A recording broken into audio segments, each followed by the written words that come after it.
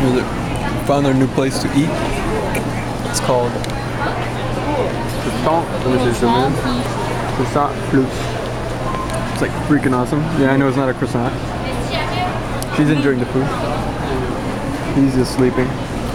And we just got a new camera, so oh, got some stuff on there. So recording.